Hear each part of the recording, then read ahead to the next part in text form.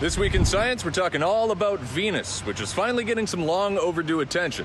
Now, you've probably heard of all of those missions we've been sending up to Mars lately, but of the four rocky planets in the solar system, Venus is the one we know the least about. We do know it's pretty hellish there thick clouds of sulfuric acid, surface temperatures hot enough to melt lead, and air pressures 90 times that of Earth. That all makes it pretty hard to study. The first Russian landers could only send back a few measurements from the surface before they were crushed, like pop cans.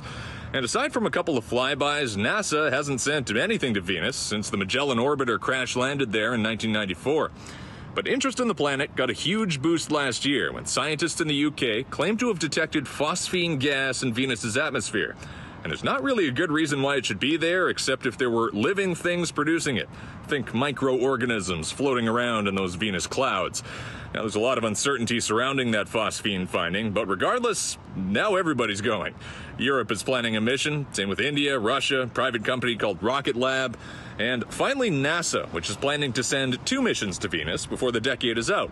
Now, the first is Da Vinci Plus, that will take precise measurements of the planet's atmosphere, and Veritas, which will chart a 3D map of the surface. Between them, we should find out if Venus ever had an ocean, if it has plate tectonics, volcanoes, earthquakes, and maybe the most important one for us, why its atmosphere is the way it is.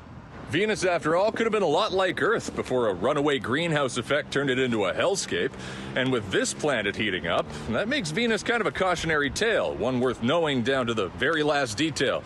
And an added science side benefit here we know there are lots of planets just like Venus outside of the solar system. So, learning about the one we have nearby will teach us about them too. With This Week in Science on City News, I'm News 1130's Kurtis Doering.